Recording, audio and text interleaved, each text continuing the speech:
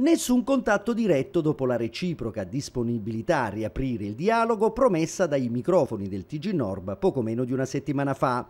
La Regione Puglia e l'immobiliarista americana Alison Dayton si sono parlati attraverso l'intermediazione del sindaco di Nardò, Marcello Risi, che ufficialmente ha richiesto all'assessore all'urbanistica Barbanente di stabilire un incontro chiarificatore al fine di approfondire il progetto del resort turistico tra gli ulivi di Sant'Isidoro in Salento, un investimento da 70 milioni milioni di euro, bocciato dopo una trafila burocratica di sei anni dalla Giunta Vendola sulla base del parere paesaggistico contrario espresso dal Ministero per i Beni Culturali. La manager americana, dal canto suo, continua a dare battaglia sui giornali ed in attesa del faccia a faccia, l'assessore Barbanente ha accolto l'invito del sindaco Risi. L'incontro possiamo fissarlo subito, ha riferito al primo cittadino. Al TG Norba però puntualizza la posizione della Regione Puglia mentre si imbarca sul volo per Stoccarda per partecipare a un convegno internazionale. La giunta regionale dice attenderà il verdetto del Consiglio di Stato che si esprimerà nel merito della vicenda tra qualche mese.